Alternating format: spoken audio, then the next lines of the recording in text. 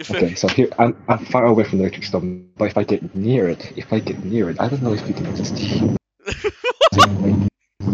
um, now you can hear me, right? It, it is currently 11 p.m. yeah. I'm pretty sure the neighbors are going to get mad at me.